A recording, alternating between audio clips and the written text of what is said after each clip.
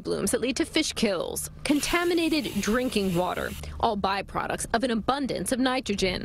While the primary source is sewage or wastewater, the second biggest nitrogen problem is with fertilizers. That's why Patti Wood, the executive director for Grassroots Environmental Education, wants laws that make a big difference. She helped craft new legislation that aims to reduce water pollution on Long Island by restricting the sale and use of high nitrogen, water soluble fertilizers in both Nassau and Suffolk counties.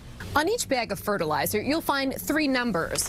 The first number represents the percentage of nitrogen in this bag. So if the legislation passes, this 28% would have to be cut by more than half.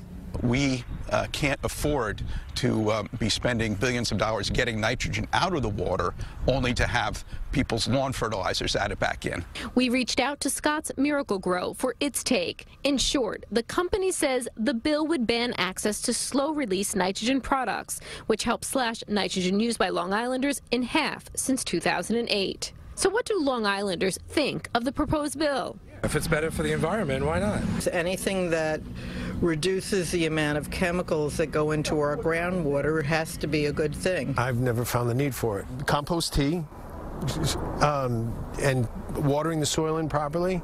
Still, people use fertilizer. So will this new legislation pass and curb its nitrogen content? From Port Washington, Vanessa Murdock, CBS 2 News.